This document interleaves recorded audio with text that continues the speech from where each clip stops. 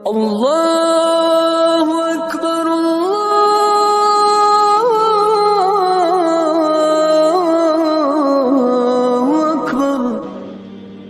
मुआशरा तबाह हो जाता है और देखो जब घर में झगड़ा होता है तो झगड़े के बच्चों पर असरात पड़ते हैं बैड इम्पैक्ट्स पड़ते हैं। वो मनफी असरात और मनफी जज्बात आप समझते हैं कि दो तीन साल के बच्चे उनको कैच नहीं कर रहे? ना ना ना। बच्चा तो जब माँ की पेट में हुआ करता है, उस वक्त से ही माँ बाप की तमाम एक्टिविटीज़ अल्लाह ताला उसके ऊपर मुनाकिस कर देते हैं और उसके असरात और उसके जज्बात उसके ऊपर पड़ने लग जाते हैं।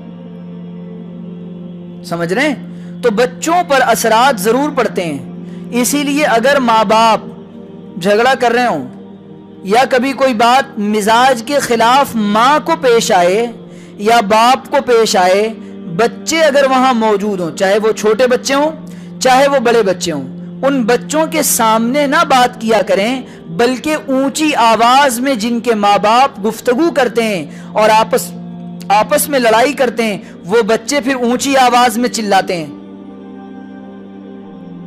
और जो माँ बाप लड़ाइयों में, झगड़े, झगड़ों में गालियाँ देते हैं, वो बच्चे गालियाँ देते हैं। जो वे जैसे अल्फाज इस्तेमाल करते हैं, वैसे अल्फाज इस्तेमाल करते हैं। बच्चों के अंदर जो मिजाज में तुरशी आती है, तलखी आती है, और ना मानने का मिजाज आता है, जो हट धर्मी आती है, ऐसे नहीं आती। और माँ बाप के झगड़ों का दूसरा नुकसान ये होता है, बच्चा परेशान हो जाता है। वो फिर माँ बाप को भी अहमियत नहीं देता कि इन्हें लड़ने से फुर्सत नहीं है, ये हमारी तरबियत क्या करेंगे? बच्चा भी फिर सुनता नहीं है बात। जब बीवी शौहर की नहीं सुनती, शौहर बीवी का, की बातें तवज्जो से नहीं सुनता और उसको इग्नोर और नजरअंदाज करता है, बच्चे भी माँ बाप दोनों को नजरअंदाज करते हैं, तजर्बा कर लें। तो बच्चों के जहन वो हर एक एक्टिविटी को, आपकी हर हरकत को देखते हैं और उसको फिर अपने दिमाग में वो बच्चे जगह देते हैं। लिहाजा बच्चों के सामने ऊँची आवाज़ में गुफ्तगु से। और अगर कभी ऐसा हो कि आपने कुछ कह दिया, खाने दस्तरखान पे बैठे हुए हैं, और आपको नमक कम लग गया, ज़्यादा लग गया, मिर्च तेज़ लग गई, या खाना मिजाज के मुआफिक नहीं बना, बेहतर ये कि उस वक्त ना बोलें आप, क्योंकि खाने की तारीफ़ सुनने का मिजाज और वो फीलिंग औरतों के अंदर बहुत होती है कि हमारे खाने बनाने की तारीफ़ की जाए।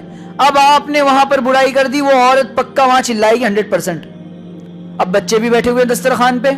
अब या तो वो प्लेट पटक कर जाएगी या आप उठकर जाएँगे। अब इसके मनफी असरात बच्चों पर पड़ेंगे।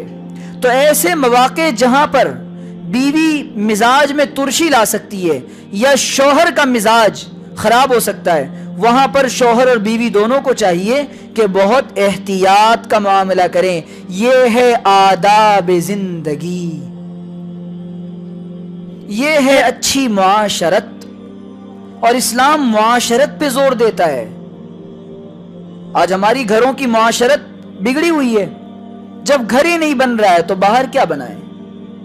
या मियाँ बीवी नहीं ठीक से रह रहे तो हमारे इस सिलसिले में हमारे हज़रत अकदस की किताबें बड़ी मुफीद हैं और बहुत बेनिफिशियल हैं। मिसाली इस दिवाजी ज़िंदगी के सुनहरे उसूल, इसको पढ़ें। मिसाली बीवी, मिसाली शौहर तो ये वो किताबें, इन किताबों का मुताला करें, ज़िंदगी में तो इंशाल्लाह बिल्कुल नॉर्मल, कॉमन बात है, हर तबका, हर मसलक, हर मिजाज, हर मशरब, हर जहन का आदमी पढ़ सकता है। कुरान सुन्नत से, अब देखो अल्लाह के रसूल सल्लल्लाहु अलैहि वसल्लम में कितनी बर्दाश्त थी कि अम्मा आयशा रदी अल्लाह तहा कम उम्री की वजह से बाज दफ़ा नाराज़ हो जाती थी, आपकी आवाज़ बुलंद हो जाती थी। लेकिन अल्लाह के रसूल इतनी बर्दाश्त का मुजाहरा करते आप न चिल्लाते थे, न डांटते थे, न कभी आपने हाथ उठाया, न आपने कभी बाप से शिकायत जाके की। नहीं, आप खामोश हैं, सुन रहे हैं? नबी सुन रहे हैं। और अम्मा आयशा, तुरशी दिखा रही है तो बीवी के इसको कहते हैं, बीवी के, इसको जोरू का गुलाम नहीं कहते। इसको कहते हैं, बीवी के नाज और नखरे उठाना। अब तक तो उसके नखरे उसका बाप उठाता था। उसके भाई उठाते थे, उसकी माँ उठाती थी, अब वो आपके पास आई है, अपना सब कुछ कुर्बान करके आप पर लाजिम है कि आप उसके नखरे उठाएँ।